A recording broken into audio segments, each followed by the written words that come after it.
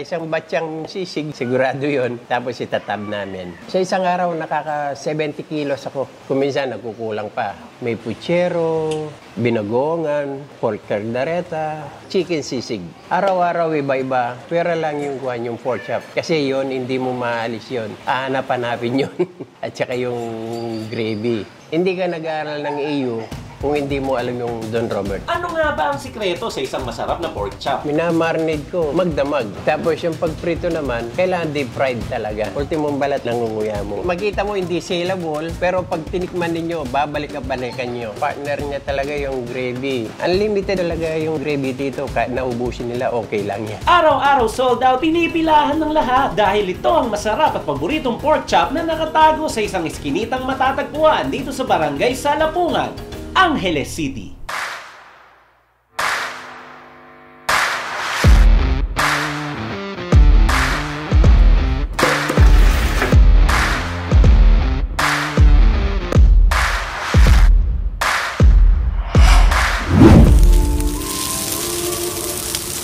Ako si Robert Manlapas, owner dito sa Don Robert Canteen. Nagsimula ako nung 1999. Dati sa harapan kami ng AU. Pinaalis kami ron. Ngayon, pumunta ako dito sa bahay. Tinignan ko yung bahay na pwede naman magtinda. Una, nagluto ako, tigda dalawang kilo lang. Tapos yung mesa ko, dalawang piraso. Sa isang araw, naubos naman yung linuto ko. Pagkatapos nung kalawang araw, dinagdagan ko. Hanggang doon sa may mga customer ako ng IT. Dumarami sila. Nagkukulang yung lamesa ko. Ang ginawa ko, dinagdagan ko. Naging pito, sampo. Tapos na-discover ko yung pork chop. Nag-marinade ako. Nagluto ako. Nung natikman ng mga customer, nagustuhan nila.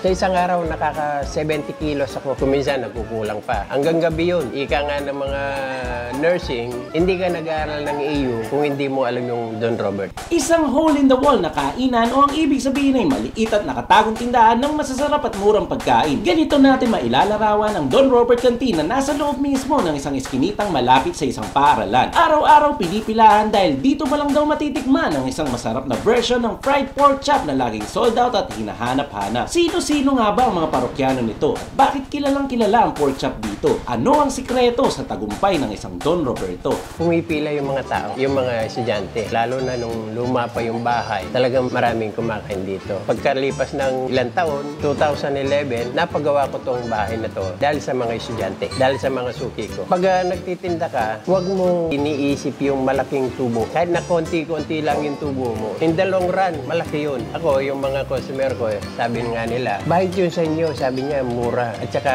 makikita mo yung kanin, marami. Gusto ko, pag pumunta sila dito, nabubusog sila. Noon, magkano lang yung meal ko? 25 peso. Tapos naging 35, naging 45. Ngayon, medyo mataas ng konti dahil tumas na yung mga bilihin. Half na gulay, half na ulam, tapos isang kanin, bali 65 lang. Nakakamenos sila. Yung ulam ko rito, araw-araw iba-iba. Pera lang yung pork chop. Kasi yon hindi mo maalis yun. Aanap-hanapin yun.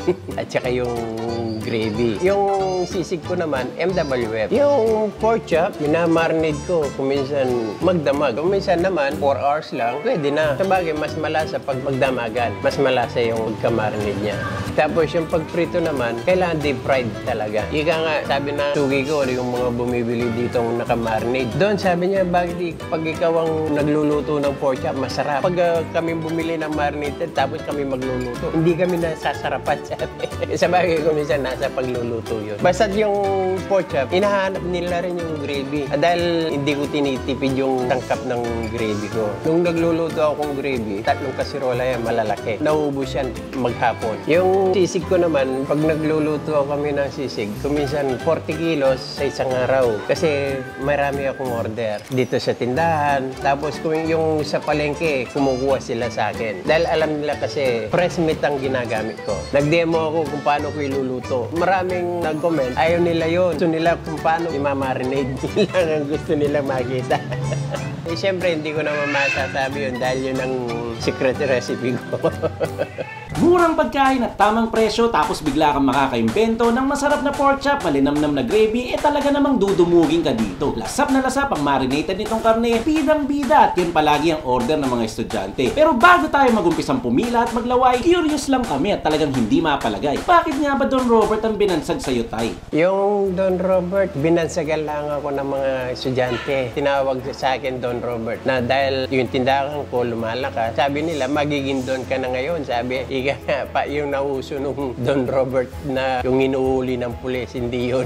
Ako yung kinakaibiganan ng mga pulis. Mga sugi ko yung mga pulis din. Sa lahat ng mga nagangad na magkakantin, ang ma-advise ko lang sa inyo yung huwag kayong magtipid sa rekado para yung mga customer nyo eh, masasarapan sila. At saka isa pa, kailangan mabait tayo sa mga customer para babalik-balikan kayo ng mga customer nyo. Hindi sila mag-atubili na, eh, doon na lang tayo kakain dahil kahit na hindi gano'ng masarap yung luto mo, pag mabait yung mga nagtitinda, babalik at babalik sa iyo. Isa pa, huwag kayong maglamang sa mga customer. Ibigay lang ninyo yung best nyo kung ano yung trato niyo sa mga anak nyo, ganun din yung trato nyo sa mga customer. O mga cabs, at alinat kayo, pumunta kayo dito sa Don Roberts Canteen, located at uh, 329 M. Ponce Street, sa Lapungan, Angeles City. Malapit sa AU, meron kaming page, Don Rob's Canteen. Pwede po kayong mag-order ng party tray or catering. Bukas kami Monday to Friday, 7 to 4 p.m. Alin na kayo at tikman ninyo ang aking pork chop na pinagmamalaki ko. Siguradong magugustuhan ninyo. Pag tinikman ninyo, babalik at balikan nyo. Talaga naman manyaman, Kenny. Manta na mga kabs! Kain na na mga kabs! At welcome dito sa Salapungan, Angeles City, Pampanga. Uy, malapit sa puso mo ito. Oy, syempre. At yung Pampanga mga to. pagkain na tutol, malapit sa puso natin. Iyan, totoo naman Combination kasi yan ng gulay, karne. Mm. At dito to kay Don Robert, Don Robert Canteen. At Mm-hmm. ang pinaka-special at talaga namang dinadayo at lagi nasa-sold out dito ay ang pork chop. Iyan. Lalo na pag pinartneran mo daw yan ng gravy. At hindi ko rin maintindihan bakit para bang baliw na baliw ang mga estudyante dito. Oo. Lagi nilang binibili at recommended to. Buhusan natin gravy, partner daw yan tol eh. Sige, tol. Ayan. Ay, grabe, isang buo. Oo, tol. Parang kinutsara yung gravy mga kapso. Anli to ah. Cheers.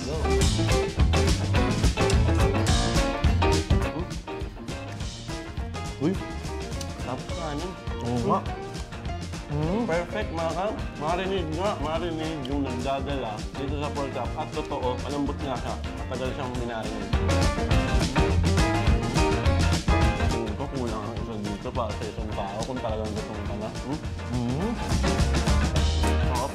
Sorry pa ulit-ulit ako ng sarap ha. Ang sarap eh. Mm, tol, baka makalimutan mong banggitin. Mm. Ang sarap nga. Totoo nga. Ano rin mo man, ako na kumain ko eh. Oh, ayun oh. Sinungaling! Sinungaling! Pero yung gravy niya, pag kinambay mo doon, actually dapat tinikman pala natin walang gravy. Subukan natin walang gravy mga kap. Mm. Mo yung para siyang ano, malapit-lapit na sa tosino. Oh? Yun yung marinade niya. Pag walang gravy ah. Oo, eh kaso, yung akin kasi, oh, tinunuha ng gravy ko. Tinapakal. Di ba okay? Pag umorder kayo ng pork chop dito, no, pwede nyo siyang ipa-chop. Yung slice-slice, eh kami, gusto namin, buo namin mga ngasab na gano'n. Kaya hindi na namin pinachop. Mm. Bukod naman dyan, meron pa ulam dyan, tol. Oo nga. Ano ba to? Ito yung kaldereta. Mm, kaldereta. kaldereta. Masarap din yan. Oo, na kita. Kalderetang baboy with carrot.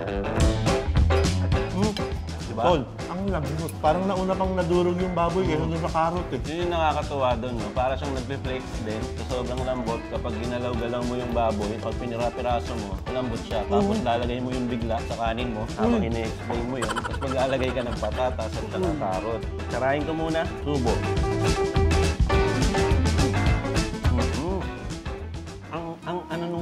Parang ang kapal tapos kamatis talaga yung lasa. Tapos may konting tamis at anghang. Parang ganun siya. Oo. Talagang ano tol, pang partner sa ulam, no? Mm. Ay, pang partner sa ulam. Pang partner sa kanin. Oh, Di ba, tol? Hindi, pero tao. paninindigan ko.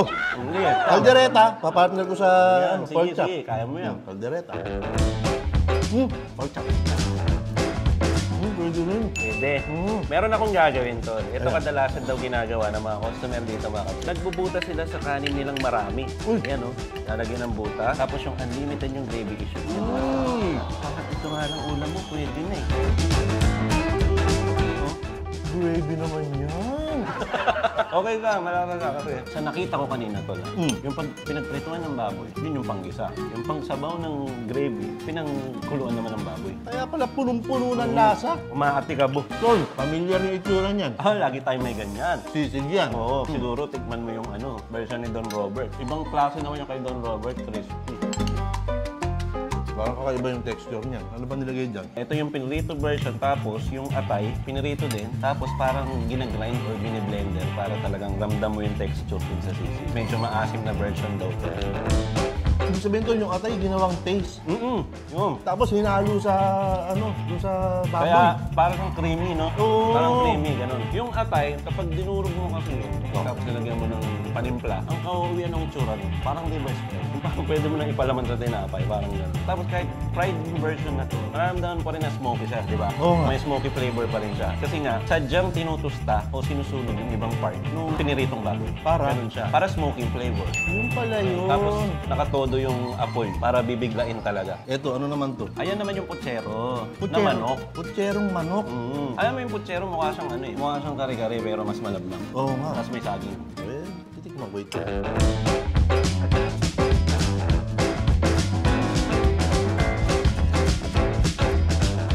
Ito naman tol, binagoongan. Sa Kapampangan, degokan. Tol. Masarap din to. May saktong tamis yan na nalalasahan ko. Ano ba yun? Tama Saktong ba yun? tamis? Oo. Malamang sa saging yun. Ayun yun. Kasi yun yung nandun eh. Yun yung nakikita kong pwede magpatamis dyan sa Kaya pala. Ito, nalalasahan natin dito na meron siyang ah, luya na lasa. Kasi pampatanggal din minsan na lansa yun. Yan. Yung bagong. Dahil nga bagong pinaka-base nung putahe na to. Ikot muna tayo sa baw. Meron tayo dito tol, yung ano, miswa. Kakamay na ako. Oo. Game.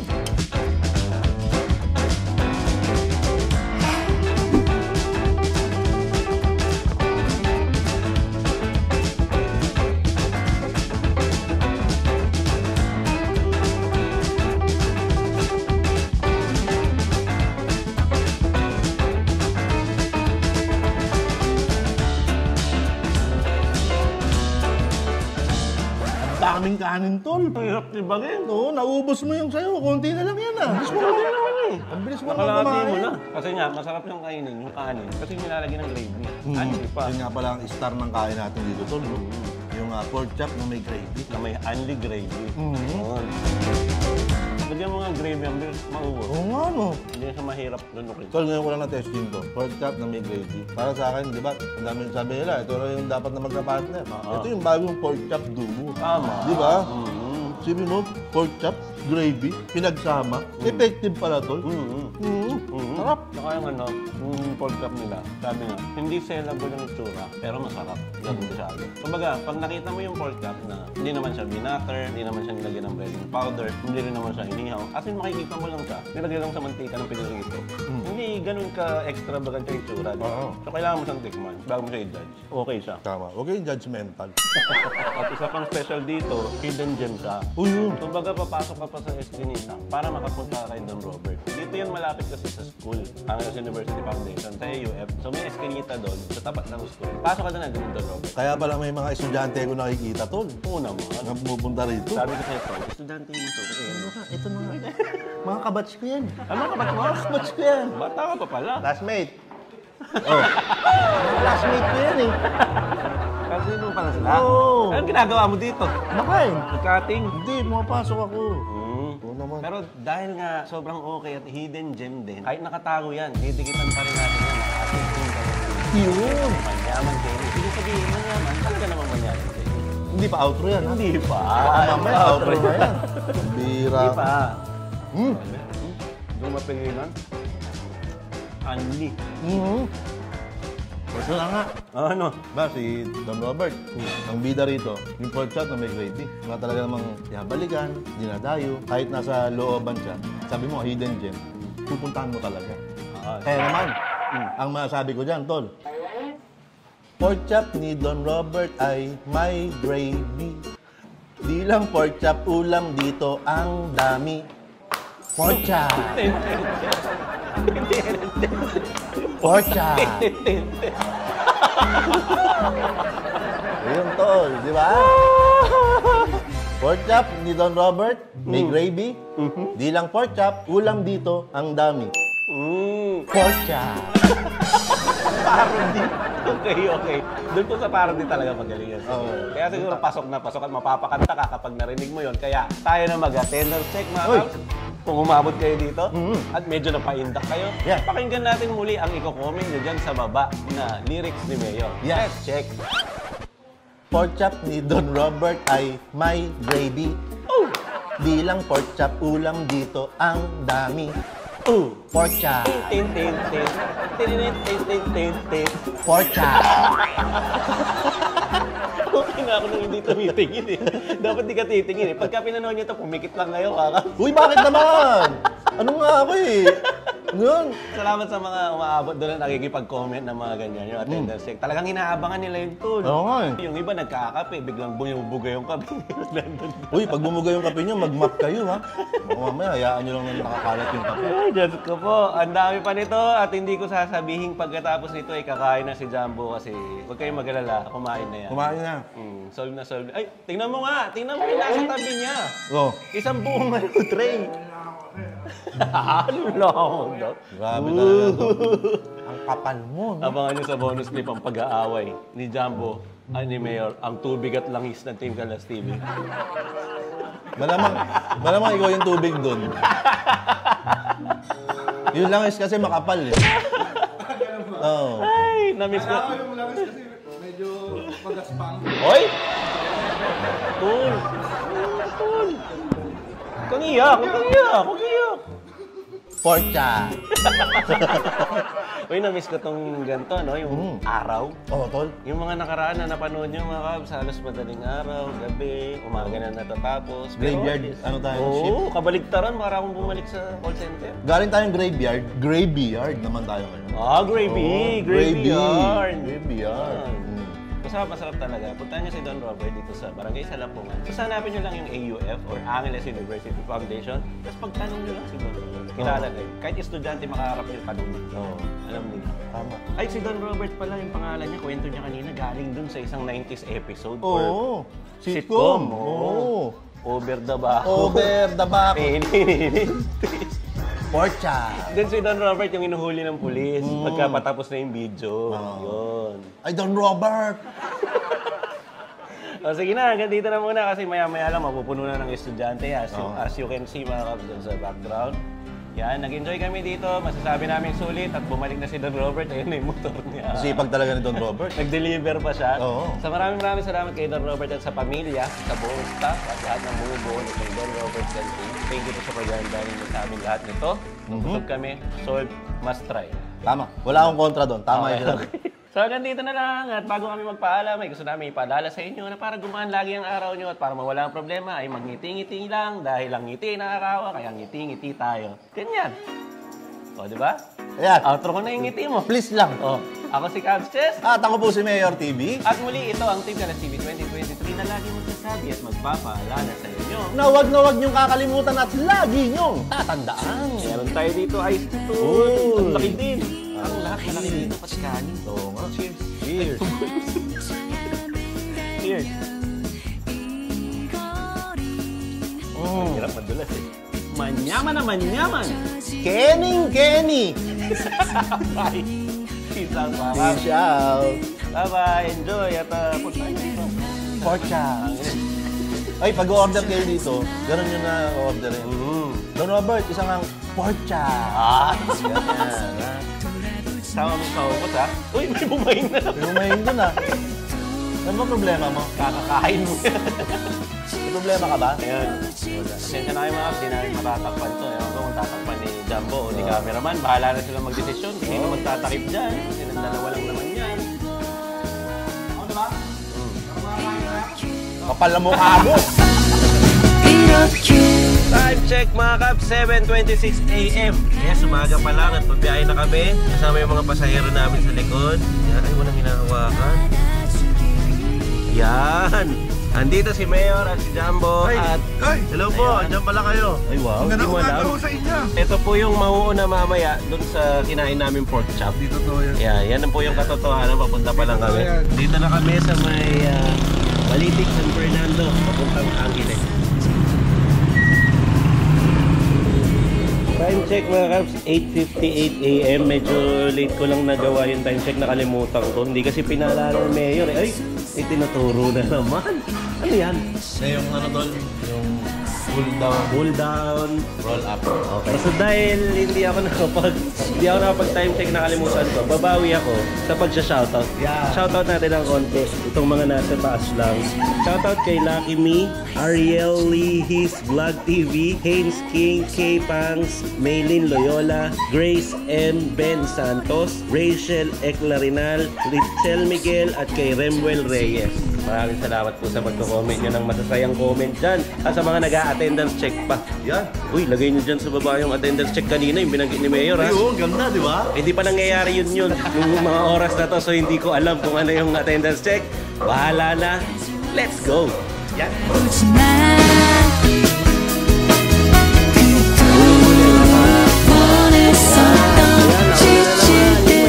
원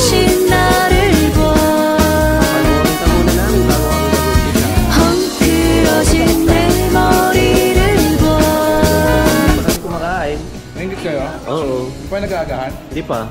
Kape pa lang. Pikit-pikit pa to. Kapal ng mukha mo. So sige, panoorin nyo na lang ulit para salo-salo tayo. Hindi pa kasi nangyayari yung kumain na kami mga kasi gagawin pa lang eh. Ayan oh. Tingnan mo nga naman yung kalbong yun oh. Inubos agad yung pork chop eh. Ayun oh, sarap na ng buhay. Tayo na ba tayo, Tal? Ha? Ayan na yung kalbong yun oh. Walang kalbo dito. Ay wala! Ano sabi mo? Walang kalbo dito. Nasa patingin. Tadaan! Ang kapal ng mukha mo. Hindi pa rin siya tapos. Ayan na kumakain siya. Nakikita niyo ba yan mga kabs? Pero di pa rin tapos oh. Kapal ng mukha mo, no? Hindi, tinuloy wala yung kanina kasi siyempre may shoot na. Ah, may part 2 pa. May part 2 pa nga. Ano, kailangan humingi kami ng pasensya sa'yo. Oo. Tawag sa pagkain mo kanina. Kasi hindi mo natapos yung kain mo kanina. Ang kapal ng mukha mo. Pwede pa, yung ano, may shoot pa. Pwede na, mamamid na. 広じメモリー dito nga pala ang Don Robert sa Barangay Salapungan. May eskinita dito. Ayun, may kumakaway doon. Pero andun po yung AUF or Angeles University Foundation. Yung dulo na yon, MacArthur Highway yon. Dito pa Baguio, dito pa Manila. Ah, galing magturo no, Tol. Ano yung turo mo dyan? Walang papunta dyan. Pero magpasalamat na tayo kay Don Robert. Don Robert, thank you, thank you very much po. Hanggang sa susunod namin pag-order sa'yo. Order tayo ng mga tray-tray. Punta tayo sa Facebook page na. Bye-bye! 1.15pm na po kami nakauwi. Sa Kasalukuyan kami nagpapahinga. Dahil ah, may naglalabanan dito ang dalawa. Yung isa dyan Lakers eh, yung isa Clippers. Yung Lakers medyo tambak na. Ano team mo dyan doon? Yung nanalo, tol. Ikaw? Pinatatalo. Hindi nagsabi na totoo. Good luck po sa kanilang dalawa. Ito yung mga video na syempre, magbaba na energy lobas. Nagpapahinga muna kami dito.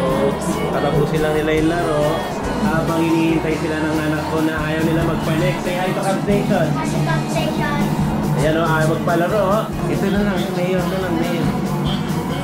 Oo. Upo, di referee mo tayo. Hahaha.